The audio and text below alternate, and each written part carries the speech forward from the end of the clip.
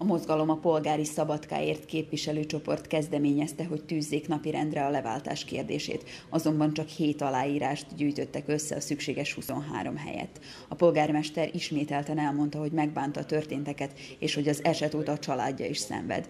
Hétfőn egyes internetes portálok fotókat jelentettek meg a családi házukról, ami a polgármester szerint azt bizonyítja, hogy ő és családja továbbra sincsenek biztonságban.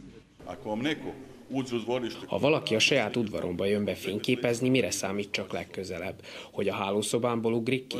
Mindenkit értesítettem, hogy valami történik.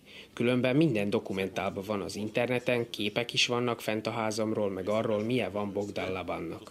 30 munkaévvel teremtettem valamit. Sátorban kellene élnem? Persze, hogy nem.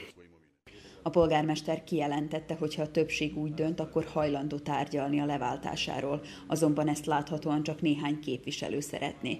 Maglai Jenő a mozgalom a polgári szabadkáért képviselőcsoport vezetője továbbra is kitart az álláspontja mellett, miszerint az ügyet nem szabad annyiban hagyni.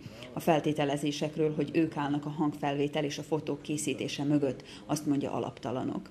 Mi nem foglalkozunk titkosszolgálati eszközökkel, nekünk nincsenek erre kapacitásaink is, és azok a vádak, amelyek arról szóltak, hogy a mozgalom, a polgári szabadkáért, vagy a magyar mozgalomnak bármi köze van a fényképekhez, vagy nem tudom, a lehallgatáshoz, azt teljesen visszatosítottak.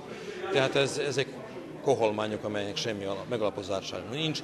Az augusztus végi incidens óta, amelybe polgármester került, a mozgalom a polgári szabadkáért képviselőcsoport tagjai ellenzik Laban minden nyilvános szereplését. Így például minden alkalommal kivonultak a Városháza díszterméből, amikor a polgármester felszólalt.